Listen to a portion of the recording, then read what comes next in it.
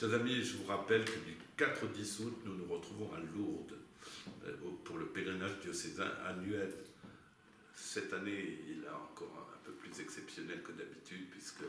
euh, dans, les pèlerins, il y aura ceux qui participent à ce qu'on appelle le voyage de la fraternité, c'est-à-dire euh, les, démunis, ceux, qui sont précaires et que nous emmenons avec nous, à qui nous faisons la place qui est la leur dans notre Église. Et c'est important que nous considérions que Lourdes, c'est dans le prolongement d'une année de vie d'Église, d'une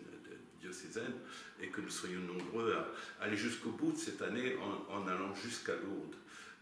Et, en allant jusqu'à Lourdes dans une vraie fraternité. Euh, c'est pourquoi le voyage de la fraternité, c'est pas seulement cette catégorie de, de personnes, mais c'est nous tous qui, devons vivre cette fraternité et, à l'invitation de la Vierge Marie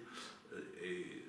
surtout euh, considérer que nous n'en avons pas fini notre vie d'Église au moment où les vacances arrivent, mais qu'au contraire, pendant les vacances, nous devons savoir poursuivre la prière, poursuivre l'effort de, nous déplacer, de nous laisser euh, envahir par des messages de, paix, de joie, de vie, et, surtout